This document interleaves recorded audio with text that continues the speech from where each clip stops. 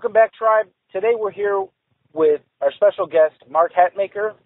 Mark is a world renowned combat sports coach teaching boxing, wrestling, hybrid fighting, and a whole lot more. Today we're going to be specifically talking about boxing as a martial art and looking at some of the rich history and physical culture that boxing has to offer. Mark, how are you doing today? I'm doing great, sir. How about yourself? Doing well, doing well.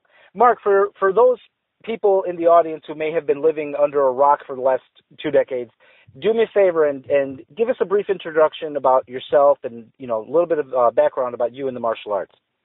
Sure thing. First, they live, they never have to be living under a rock to not know who I am. And there's, there's lives to lead. Nobody needs to keep up with that stuff. Just in a nutshell, I'm just a huge enthusiast for Western martial arts, but I get a, a big, uh, a niche, uh, a feeling for old school boxing, old school pugilism, old school uh, wrestling, old school grappling arts. So whenever I say Western martial arts, uh, whenever it falls into the area of, hey, you like old sword play and all this, oh, I admire it, but that's not my bailiwick. I know nothing about that so we don't make any claims there. But if it's as far as uh, closing the hands up, throwing some punches, throwing some elbows, the old school way, or even some of the new school boxing way, or you know, look at the way uh, the the wrestling game, whether it's the now beautiful cleaned up version that's incredibly athletic, all the way back to the beginning of time, all of that's good to me. That's kind of stuff that sends my soul. Been studying it for a long, long, long time.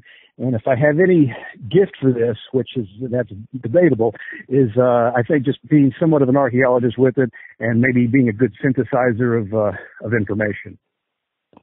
Now, Mark, we're going to talk about boxing, and, and like you just mentioned, there's a, a, modern, cleaned up version of boxing. But a lot sure. of people in our community, when they think of boxing, that's what they think about.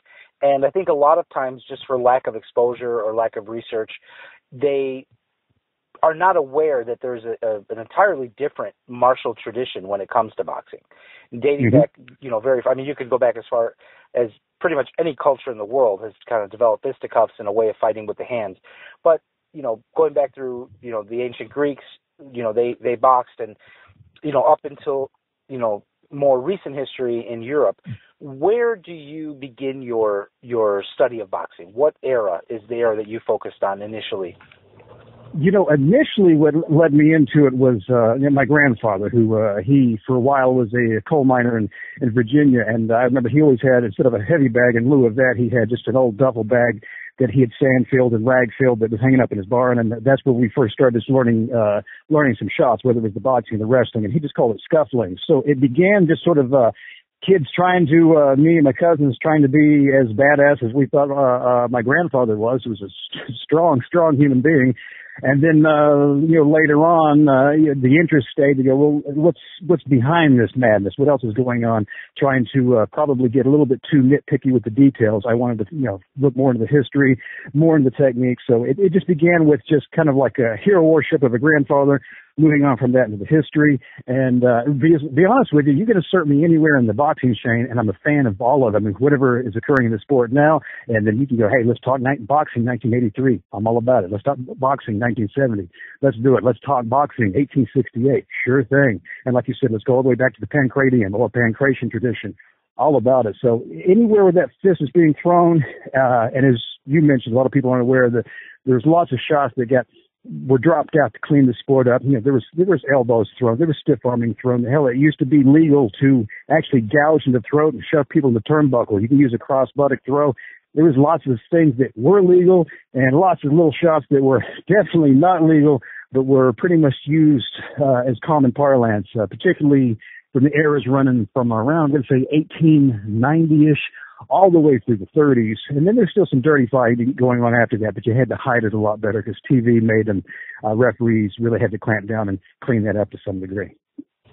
Now, I became initially a fan of boxing, and it's it's actually pretty ironic. I, I discovered about six months after I moved from a childhood home that the the neighbor across the street actually was a pretty well renowned amateur coach and actually had an entire gym in a in a extended garage in his backyard and I lived across the street from this guy for years and never knew it. I was reading books on boxing and you know traveling on the bus to try to get to gyms uh to you know try boxing was when I was a teenager and you know, my initially I started to, I guess maybe in this sense I was lucky, but I came across authors like, and I'm sure you're familiar with some of their books, um, you know, guys like uh, Champ Thomas and oh, yeah. Uh, yeah, and Robert, you know, Robert Gil, uh, Ghibley, you know, they they wrote about a different era of boxing, and you know. I, I got you know a little bit of exposure, you know, conceptually to some of the things that they were talking about.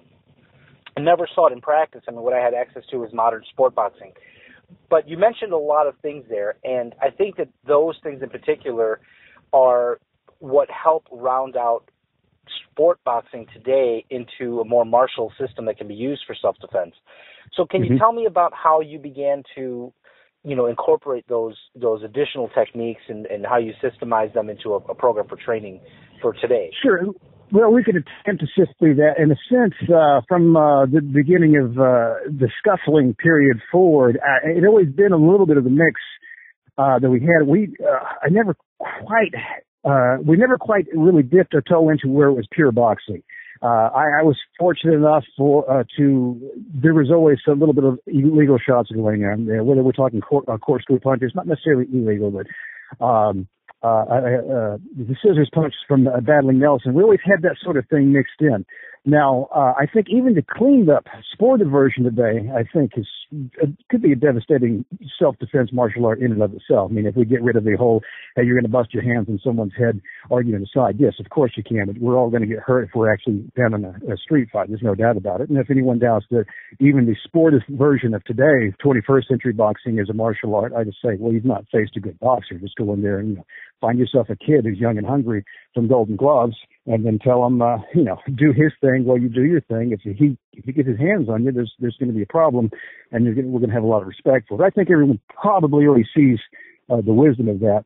It it definitely gets to be a different sort of uh, uh, uh, sting in the tail when we start throwing in the way the elbow shots were thrown as inserts. We start throwing some backhand blows, uh, the pivot punching, which is basically, if you think of it as spinning back fist, but it's not a back fist thing whatsoever. It's thrown in kind of with a different setup set up with something called a duelist jab. Um, uh, there's these, these hacksaw shots. There's uh, there's different ways to.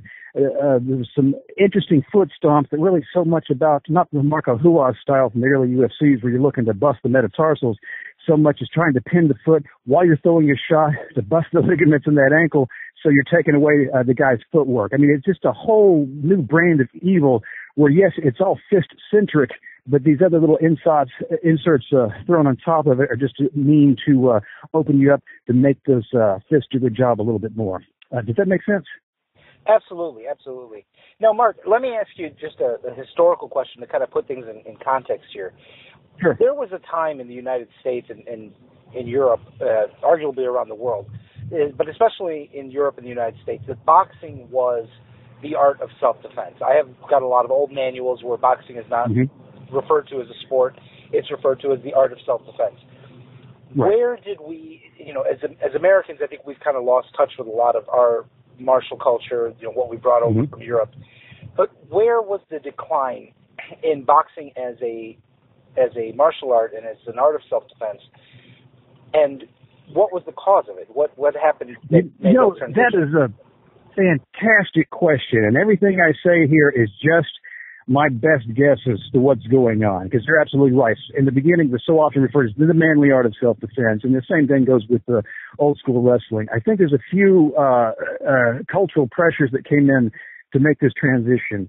Uh, one, I think, being um, as uh, I'm not flagging off the entire 21st century culture because I'm part of it as well, but there's to some degree a softening that goes on. I think any of us looks at what workloads used to be for people, what people used to do for a living all the time. There's some people still out there who who are steeplejacks and uh, doing hard the hard lifting of, of keeping the the infrastructure alive. But there used to be more jobs along those lines. There was more people involved in the rough and tumble and hardcore sort of thing. And uh, some of the like we look at the early versions of football even we see if this is a harder game and then we uh, one reason we see so many concussions now is we know because it's partly a side effect of having a better safety gear. I mean, people are spearing with the helmets just because the helmets are made so much better. And, you know, early football, you know, no helmet, people just kind of like avoiding the spearing, but still a rough and tumble version of the game. I just think uh, the rougher version of boxing and being a self-defense was part and parcel of being the side mix of how the culture was a little bit uh, tougher, a little bit more robustifying, if you will. Um, so I think as we've gotten a bit the word probably I'm saying as we soften up is probably uh, that's damns us too much, but it's it's it's not too far off the mark there. It's uh, just as we see. I think the next pressure that kind of comes in is when we see following World War II, we're we're getting some veterans coming back and they're bringing in some of the original hard styles of Asian martial arts, whether it be uh, karate, what have you. Where I have no doubt some of the earlier versions were coming in a bit more pure and a bit harder. The more things go on, the more market pressures mean that people need to make money or want to make money. Uh, we all want to. So they start watering the market down where, and again, this isn't slagging off anyone who's running, you know, a strip market, uh, uh, a strip uh, mall dojo. But as we know, if you want to make money, you're going to have to have a big kids program and you're going to have to have a cardio kickbox program. You're not necessarily going to be making all your prime cash off of the hardcore version of kickboxing. The same thing if you go into, there's very few pure MMA gyms. They have to survive off of some of these tangential programs. The women's cardio kickbox program is going to be way bigger than the MMA uh, program. But if we look at early boxing gyms and early wrestling gyms, there's just no evidence whatsoever of these watered down versions. Everyone just took it as being, you know, part and parcel of it being, oh, it's a tough sport, it's a contact sport, you know, you know, you're going to pull up your panties to get in there and do this. Does that kind of make sense? Absolutely, absolutely, it does. Now, Mark, let me ask you this: the the transition from the bare knuckle to the gloved era of boxing. Uh, I mm-hmm. want to ask you kind of a twofold question on that. One, did just kind of keeping with the, the the line of thought we just had, do you believe that that contributed to boxing not continuing as a self defense art? And number two, my question is more on the mechanical level. I wanted to know if you could give us some thoughts on how boxing changed with the advent of gloves. Okay, great. Again, great questions. Good on you. Um, yeah, I would say moving into the glove era probably helped change the perception that uh, these mufflers in the hands, since it was and it was supposed to create something. You know, they're thinking a safer environment. Really, it's more along the lines of let's have less cutting so we can keep the mayhem going on longer and that was again a market pressure. It's uh, promoters trying to keep the fight going on longer. So that's to some degree. It has little to do. I mean, it, it's a, it's a sound good reason of going. We're trying to protect the fighters, and not really. Uh, they're trying to make sure this lasts longer. The same thing with this we see with the NFL situation today with the helmets. We are all aware that actually, if you back off on the helmet technology, it's a little safer for the players, but it's not nearly as good for the audience and the market. So it's a while it may be a while before the NFL backs off on that, but maybe they won't even do it because you know they're still they're reckoning the money, so that's the way it works. Um, you're probably correct that some people perceive that glove on the hand as being uh, moving it closer and closer to sport, but I'm not quite. We're not really seeing it still drop out of being referred to as self-defense. Uh, there, maybe that 40s to the 50s, that transition where people were regarding it less and less as being uh, street utility. I mean, it didn't completely fall out that way, but there is to some degree that occurs. And have to forgive me there. I forgot the second part of your question. Could you refresh me, please? Well, the second part of my question was just more on a mechanical level. I wanted to know if you could mm-hmm. explain to us how the mechanics of of the art changed? Oh, abs- oh, absolutely. Yeah. Okay. Thank you. Uh, you know, I said it was a good question. It still is a good question. I just forgot it.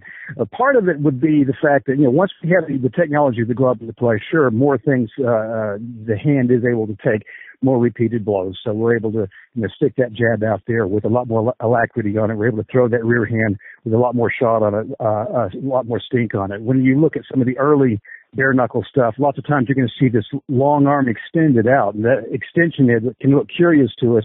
It's where the jab was less of a technology because you thought some of these things could be going on for you know hours at a time, and you're trying to save that hand. A lot of that was being treated as like a as a long pole axer, keep away from me until you could really wind up and throw that hand. And often when that hand's being thrown, some of these uh, uh, uh, shots are coming in not necessarily as a, even though the fist is closed, more of a chopping shot. You can think of a, an odd mixture between a, uh, a standard uh, a shudo standard karate chop and a little bit of a, uh, a downward inward slapping motion. The fist would still be closed to give it some a little bit of weight and inertia behind it.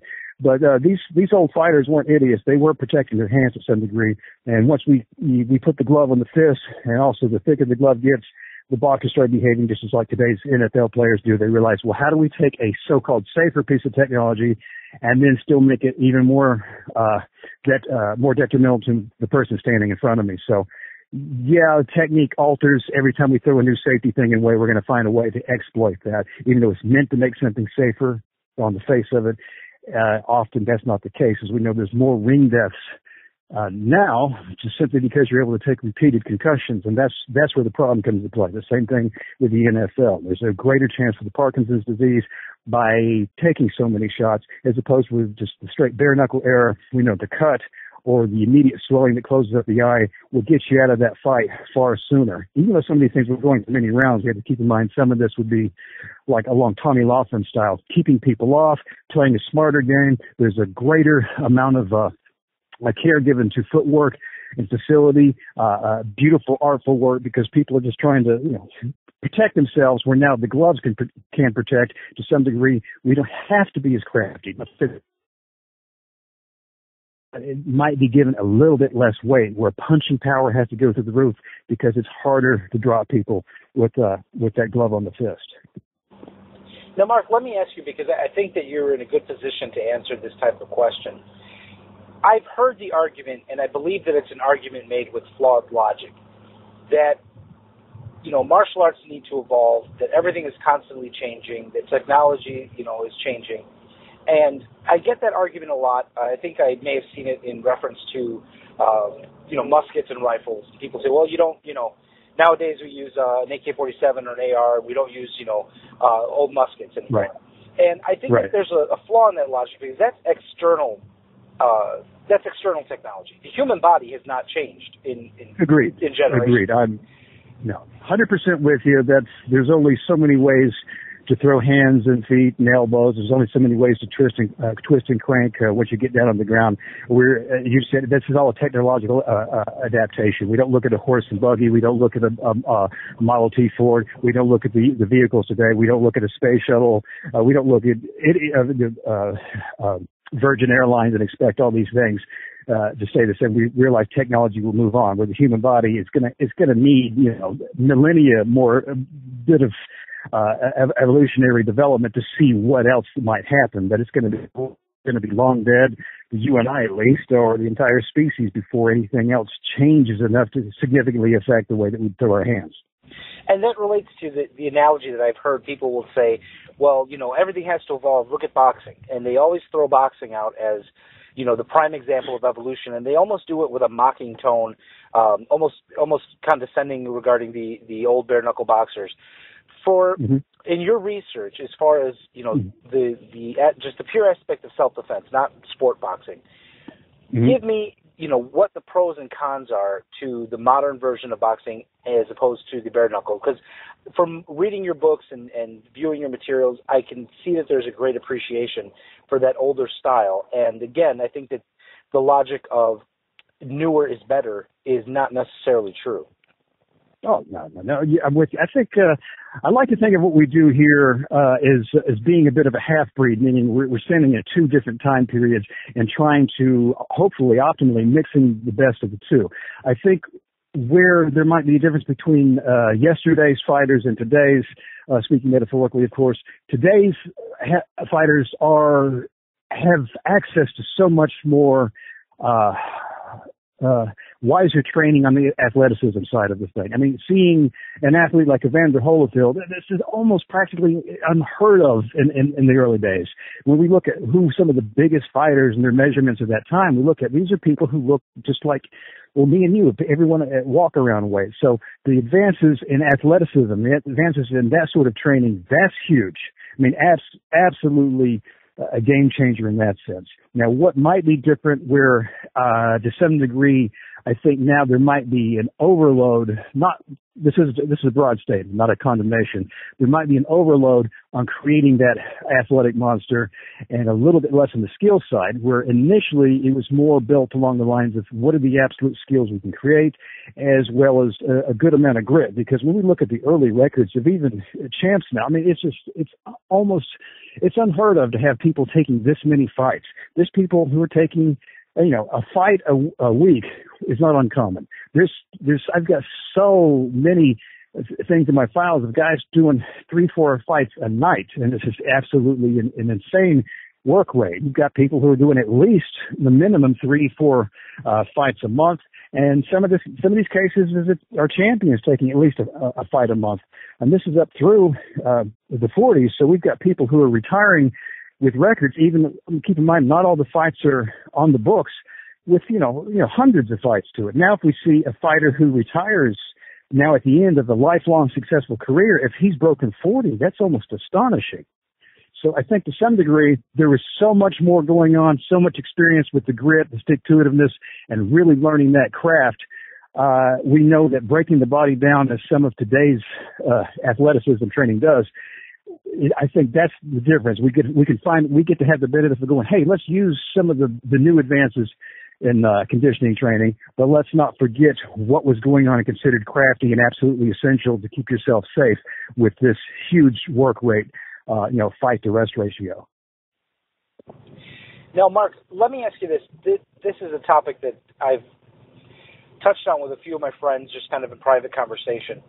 But there comes a point where I think a lot of instructors will kind of reach a crossroads in their in their training and in their understanding and what I can kind of identify as the two routes. And I, I think that you fall into one of these very clearly. Is either borrow more or understand more. And what I mean by that is that I think you know I've seen people get to a point in their martial art where they understand their you know their home martial art or their original art to a, to a point, and then they kind of start looking for other answers to you know questions that keep coming up in their training, and they begin to borrow. And I hear a lot of guys that will tell me, you know, I oh yeah, you know, we do uh, Isshinryu karate, but we, you know, we also train in jujitsu for this and in Kali to handle this, you know, scenario. And then I, I run across instructors that don't necessarily borrow, but I mean they may, you know, but but their focus is more on finding solutions within the parameters of their art and just finding mm-hmm. a deeper understanding. I, I feel that you have a much better understanding of boxing than the average person does for self defense. What are your thoughts on that? Have you found the solutions that you needed within the framework of boxing, or did you find that you needed to borrow? And speaking specifically of like the stand-up game, because obviously grappling is a different animal. But sure. your thoughts on that? You know, that, okay, that's it's a it's a good question. The answer, I don't know if this will sound nuanced or if it's a hedged answer, in the sense that yeah, we'll occasionally go through times that I will foolishly think to myself, well, well that's it. What else uh, can you do? Uh, I mean, what else is there to, to say and look at?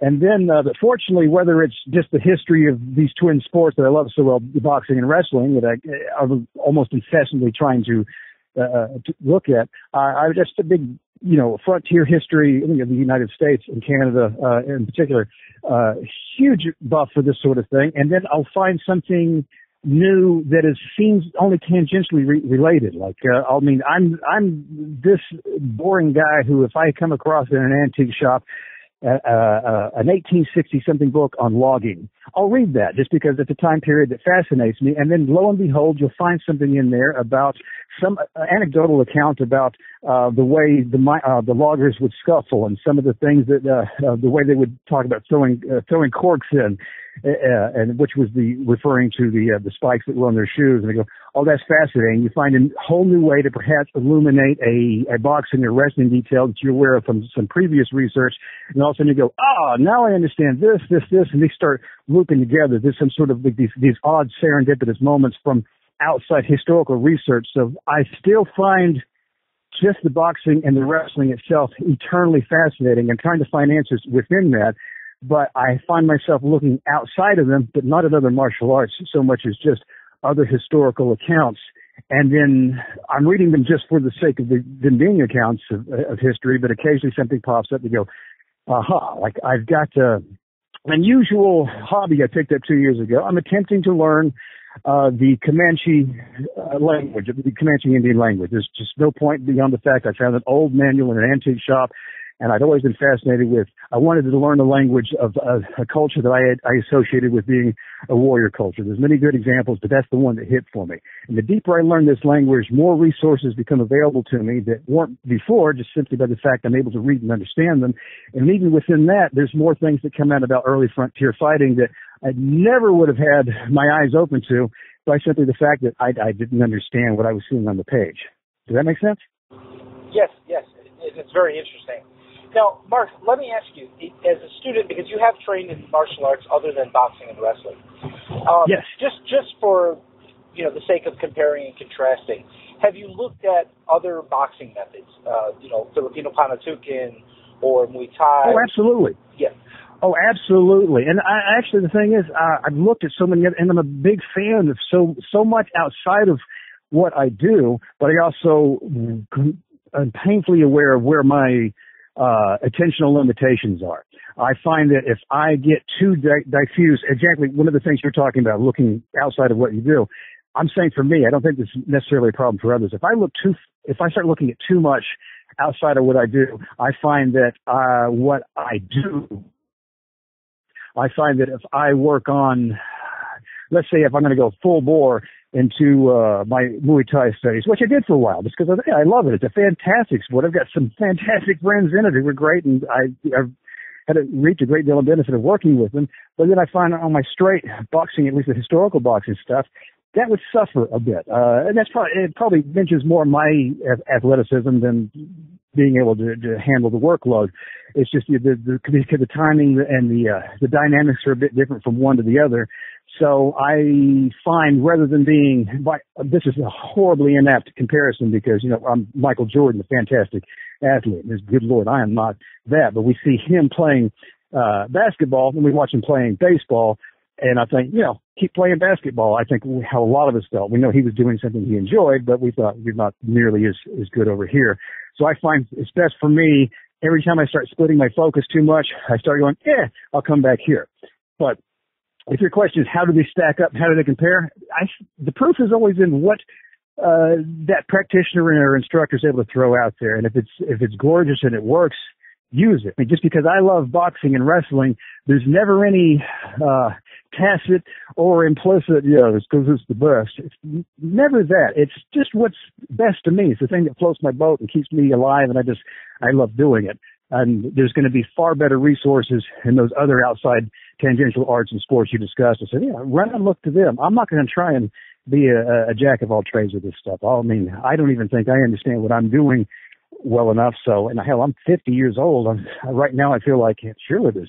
I mean, I think we just put a book, uh, dropped a book out on uh, uh, boxing like the champs, which is it's the most fun I've had writing a book in a long time, simply because it woke me back up. I mean, I've been doing this for so long, but it reminded me of so much stuff that was in my notes that I not sure I understood completely and maybe had a superficial understanding from decades of work, but maybe further down the road at this half a century on the planet and the other resources at play, more and more things are starting to make sense. So I find there's more than enough material here to keep my mind wrapped up and involved for a bit. Now, Mark, your your system of boxing, I would it, it lends. Hold on, you're, you're you're really low right now. I can barely hear you. Okay, Mark, so your system of boxing lends itself very mm-hmm. well to street self-defense. What about the world of mixed martial arts? How have you, you know, have you trained mixed martial arts fighters? Are you, you know, having oh, people oh, yeah. that are taking your your methods and incorporating it into the mixed martial arts? Yeah, yes, we do. What we do when we do, um, we'll have in we don't run a team. What we'll do is we'll spot check or do boot camps with fighters. I mean, and they'll come through and all we do is say, hey, here's here's our method and the way this works. Uh, and since we know we're working boxing and often what they're going to be verse, uh, having to face is both they're going to be looking at people throwing hands, which are, hey, we're more than equipped to show you how to do that. And we're also looking at people who are looking to shoot the takedown or can control the clinch. Boom, we got you covered there. And we're also, they're looking at people who got the kick coming in. Now, I do not claim any facility in being that guy who throws the kick, but what we do understand about it is, uh, that was one of the reasons to work with Thai long enough to go, uh, you got to fear this weapon. This is an awesome thing coming at you. So when we, we will alter, so if we're just running a straight boxing program, uh, obviously we're going to, it's going to hew far more closely to what you see in 21st century sport boxing. And then we're going to have to give you a nice overlay of some of that nice tricky stuff that was used by the early guys. If we're doing our street work, it's going to look a lot less, maybe, maybe only surface like the 21st uh, century version of boxing, probably more like a 1920s or 30s version, and then lots of hidden little mean shots in it. If we're doing the boxing for MMA, then we're doing things way differently. We're changing the stance, we're biting down on the footwork, and we're also altering the way we're running the lead hand and the, our power size we're running to or running for, uh, so we can control, uh, well, help control that that uh, what's going to happen from that kick or what's going to happen from that takedown. It's very much the way the late but great coach Shawn Tompkins used to do. Now, Mark, regarding the, the mixed martial arts, you have a very integrated approach to the boxing and, and to the wrestling. Mm-hmm. What what are your thoughts in general with the just the general state of MMA and, not naming anybody in particular, but how do you feel mm-hmm. people are doing with with blending the the stand up and the grappling arts you know because i remember this is back in the early days of mixed martial arts in the united states you had guys that you know maybe had good wrestling experience maybe mm-hmm. had some good boxing experience but they kind of lost something in the transition. Yeah. Oh great observation. Uh that's i would have said the exact same thing but you still have my answer so uh, you're right. You can see in the early days, you can watch people shift gears. You go, here's the thing I know well, and here's the thing they taught me to not get my ass kicked in case this happened. And you can definitely see that transition work. You can, it's, uh, and probably not a, a wise transition, but it's an understandable one uh, in the beginning. It, it looked very much like someone's playing soccer and they go, quick, here's a basketball, you know, sh- shoot a goal. Like, huh? And then it, it looked very clumsy. But what we have now is, it's just astonishing the growth of ability because initially what we had was no matter what the art was, uh, it's someone who was very, very good at a single or two modes of operation at best. They were very good at that. And the other things, just as you said, the transitions could look clumsy or in some cases they just didn't even exist. Now we, when we think about it, we have athletes, we have kids who can take MMA classes, who've never taken a strip mall taekwondo class or never actually been to a boxing gym. They've been doing just MMA as a sport uh, s- since they were young. I mean, they're pretty much MMA is their little league. So some of the finest people we're seeing out there right now are some young bucks who didn't have to learn how to make transitions. They were having the whole enchilada thrown in at the same time. So I think to a large degree, we're seeing our best incarnation of a truly mixed martial artist, where before you could see the mix was like, yeah, you got two things down, these other two elements look a little iffy. Not to say everyone's great across all spectrums, but it's increasingly the case where everyone looks pretty damn, pretty damn good.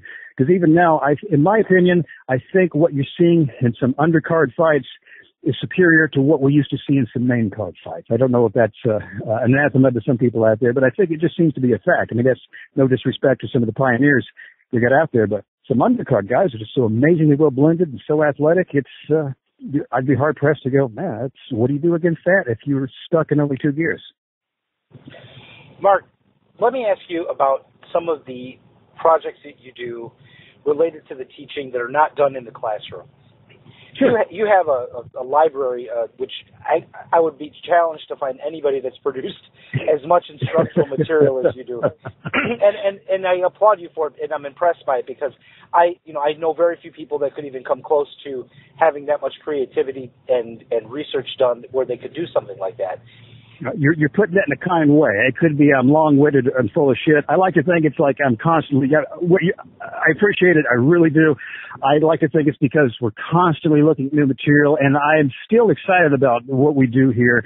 And uh, hey, here's a brand new way to look at it. I have to be honest with you. Some of the material we do is uh, revision or telling people, hey, I was wrong. You know, this was great technology uh, 10 a decade ago, but now not so much. I'm sorry I cut you off there, but no, no, it's fine. and, and that's a very that's a very honest approach. Um, you know, it's actually very refreshing to find an instructor that can, you know, tell their students, "I've grown, so now you should grow."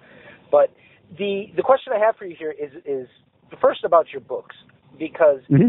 I, I want to get your perspective on what that experience was like writing. I've spoken to a mm-hmm. few martial arts authors, and I hear a lot of interesting things from them as far as you know their own personal growth and how that writing process helps them. Tell me about your process writing your books on boxing and wrestling, and what did it bring to you? How was it beneficial to you? Oh, uh, okay, good question, but this might be a boring answer in the sense, as we've seen in some of the answers I've just given in this interview, I'm probably over talking. I just I can't shut the hell up. I just, I I'm going to keep running whether I got to say uh, I've got something to say or not. And to some degree, uh, but honestly, I'm speaking my truth. Whatever I think the truth is to me right now, I'm saying it. And we do the same thing on the page. Um, to be honest with you, whether I had the books or not, I would have I would have written that material. I just dig getting because before I was even putting the books out there, uh, I, I'm sure just like yourself or anyone who think just loves what they do, the notes were copious and endless stacks and stacks of notebooks where there's handwritten scrawl, keyed in things way before I even knew what a computer was, a, a word processor, just material everywhere. So the written word is just, uh, uh, um, hmm, I, that's the, it's an easy part for me. I don't mean, I'm not, that sounds like a humble brag. I don't mean that to be the case. I like what I do. I like the information we're talking about. And yes, it is work. Don't get me wrong. Everything's work. You know, you get a blank page and what are we going to do here? But as far as there being some big transformative experience, no. If anything, it may help um, better codify, hey, this detail needs to be said. I can't show the detail. How do I make sure I've got a sentence structure or an ABC linear pragmatic approach that hopefully can translate to you being able to do this if I never get to meet you face to face. Was that a sufficient answer or did I just get off track there? No, no, that's great. You know, one thing I wanted to ask you because it, it was an experience for me when I was, you know, trying to put some of my ideas to paper I mm-hmm. and this may sound bizarre, but I realized there were times when I came to the realization in having to write it for the purpose of instructing somebody else that mm-hmm. I realized that my understanding of that particular, you know, technique or, or concept was not really where it should have been and I kind of learned from you know just trying to teach other people and I, I educated myself and and I looked at the page and go oh okay I get it like you know, I thought it was like this, but now that I'm trying to explain no. it to somebody else, I, I kind of have a different understanding of it.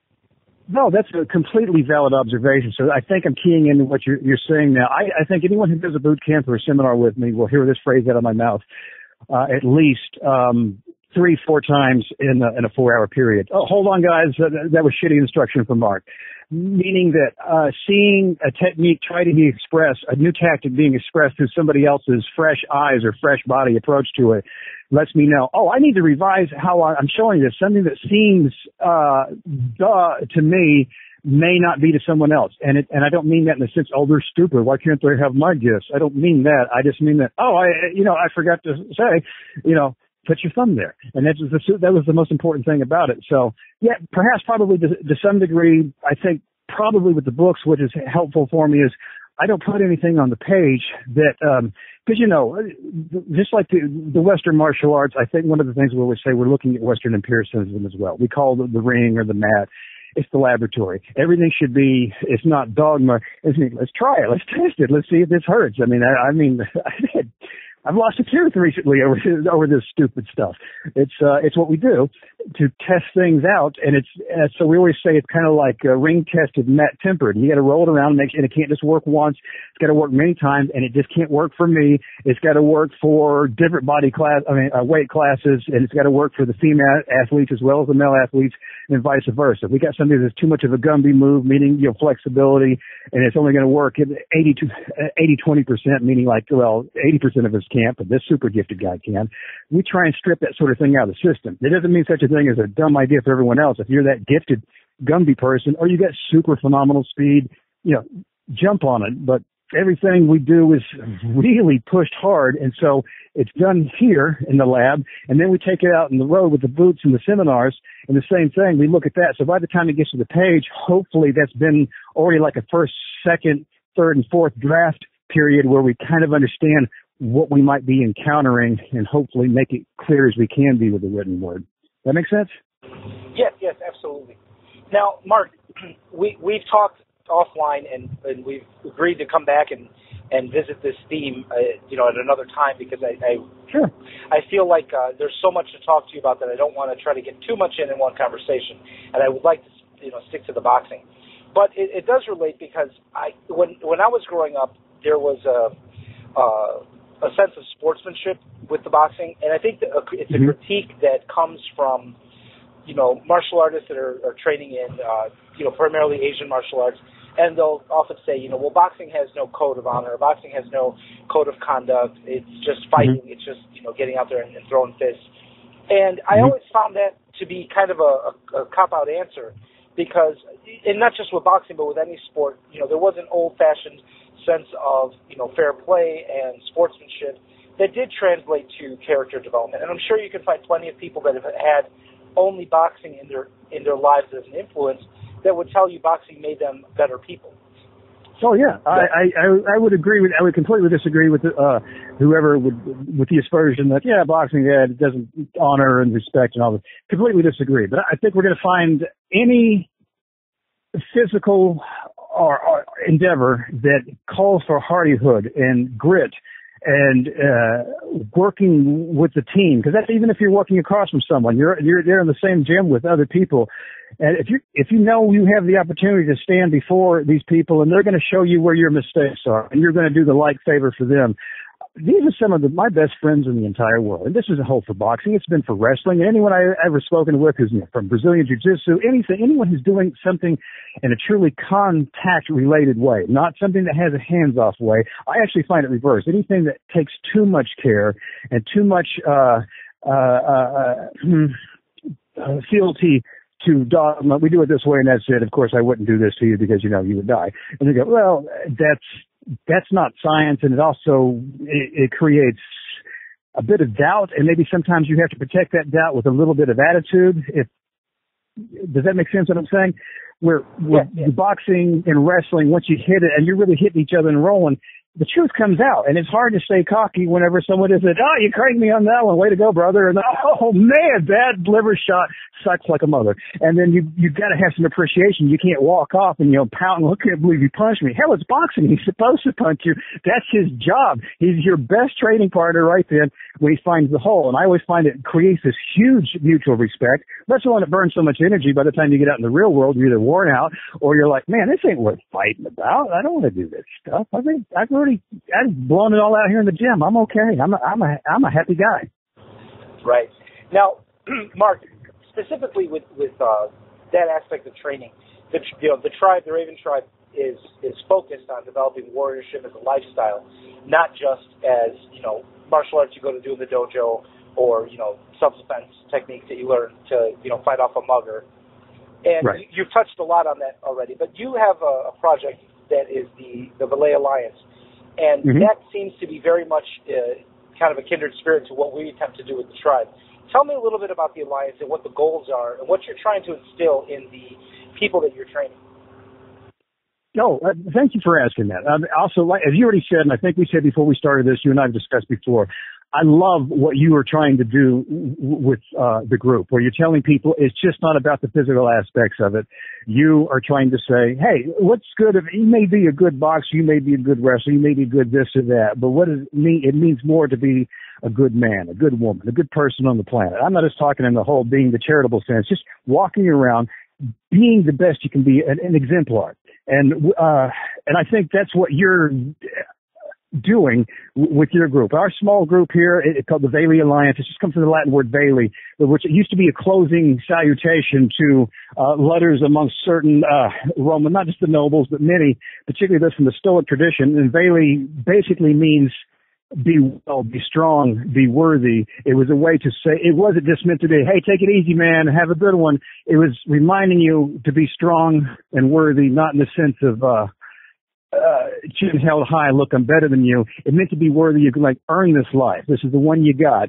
Do it right. And everything you do, try and walk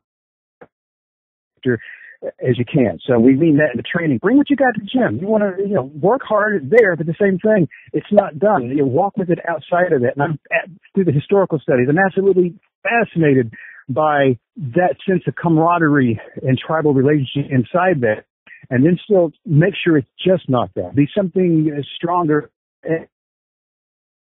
everyday life. Uh, the folks in the Vale Alliance that um, treasure working with these people, whether it's in the boot camp, seminar, the one-on-one situation.